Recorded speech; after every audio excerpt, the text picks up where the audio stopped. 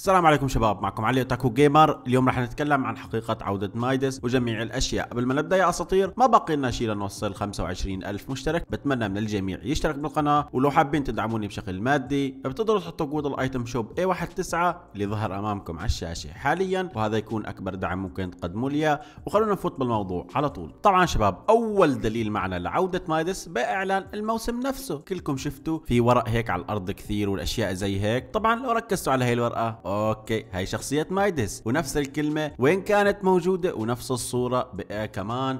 موجودة بأحد المكاتب بحدث ال doomsday اللي كان هذاك يوم النهاية حدث يوم النهاية اللي صار بال chapter الثاني ال season الثاني تبع season مايدس. موجودة حرفيا نفس الصورة بالضبط. فشي غريب هذا دليل نوعا ما يعتبر قوي لعودة مايدس. الدليل الثاني معنا اللي يا شباب؟ لعودة مايدس هو هذا البيت تدخلوا عليه حتلاقوا هي طبعا الستارة شو تكون سموها سموها. المهم حتلاقوه وراها كرسي. طيب الكرسي هذا تبع مايدس. شو جابوا له هون؟ ما بعرف. طيب شو اللي أكد لي إنه كرسي مايدس لو رجعنا بالذكريات للموسم الثاني ال chapter الثاني راح نلاقي إنه بصفحة ال battle pass اللي كنا نستعرض فيها skin مايدس حتلاقوا نفس الكرسي بالمعنى الحرفي. الدليل اللي بعد هيك لعودة مايدس طبعا هاي البوابة اللي موجودة بأحد المدن بالخريطة. ف يعني البوابة هي اللي ما يعرفها لو شفتوا إعلان الموسم الثاني لما تشوفوا ركزوا معي. شوفوا لما تسكرت البوابة هي فعليا نفس البوابة يا شباب. وهذا يعتبر دليل قوي إنه ممكن ال season الثاني يكون له علاقة بمايدس بال chapter الخامس. طبعا بهذا المكان على الخريطة لو تركزوا فيه راح تلاقوا في صورة. الصورة هي لمدينة الإيجنسي اللي كانت موجودة بال season الثاني بال chapter الثاني. من كثر الشابترات صرت لخبط بالكلمات يا شباب. إيش في فورتنايت؟ حاجة شابترات. المهم إنه مثل ما كنتم شايفين يعني ليش يحطوا كل هالدلائل ومايدس ما راح يرجع؟ حيكون يكون شيء غريب الصراحة. حاليا شباب هي الدلائل اللي منا... اللي أنا شفتها بنفسي داخل اللعبة وأنا عم بلعب موجودة داخل الخريطة. فصراحة ما بعرف أعطونا رأيكم تحت بقسم الكومنتات. طيب شباب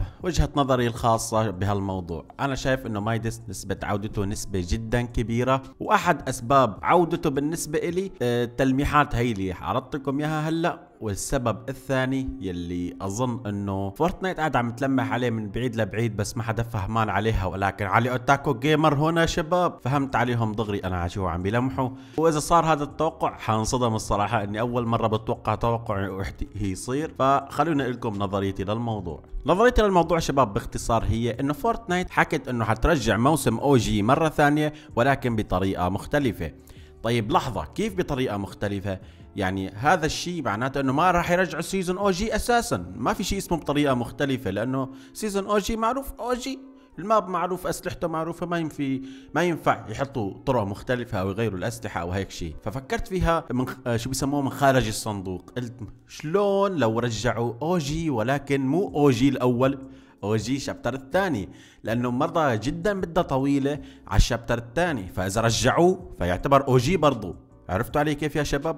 فالفكرة إنه يعني ممكن تكون هذا الموضوع لعودة مايدس والأشياء هي اللي حاطينها كلها ممكن تكون تلميح لعودة ال chapter الثاني بهي السنة. ممكن يكون على بداية ال season الثاني. تكون مناسبة جدا أسطورية. يحطوا موسم OG ال chapter الثاني وحتلاقوا مايدس والأشياء هي كلها موجودة داخل الخريطة والبوسات والخزنات والأشياء الأسطورية يلي كانت موجودة معنا بهداك الموسم. والأحلى من هذا كله إنه حيكون طور دائم. فشو رأيكم بما انه فورتنايت عم تحط التلاميح هي فما في سبب ما في سبب مقنع لرجعتهم إلا النظرية اللي عم لكم عليها.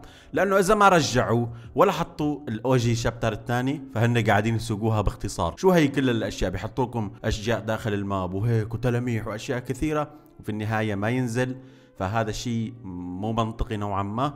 ولكن المنطقي مثل ما قلت لكم وحتى مو منطقي إنه يرجعوه لداخل قصة ال chapter الخامس. راح يرجعوه لل chapter الثاني وبال season الثاني وبنفس ال map وبنفس كل شيء ونفس المدن ونفس كل شيء كان. ولكن بهداك ال map. وهو هذا هو اللي بيقصدوه فورتنايت بشكل مختلف بعودة ال map OG بطريقة مختلفة. وأعطوني رأيكم تحت من النظريه لو صار هذا الشيء حيكون أفضل ولا يرجعوا لل OG OG أحسن؟ فأعطونا رأيكم من تحت من خلال قسم التعليقات. وبس هو هذا هو موضوع الفيديو اليوم أتمنى يكون عجبكم.